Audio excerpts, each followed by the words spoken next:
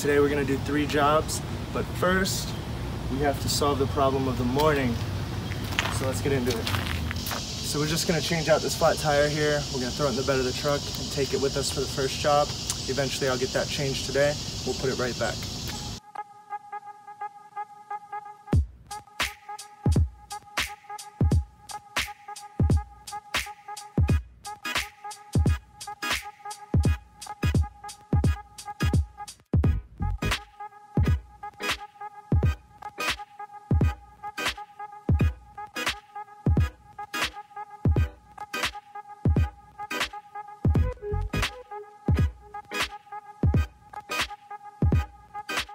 We're here at the first job. We're gonna get this driveway cleaned, and then we're gonna clean the left wall of this house with some chem. So.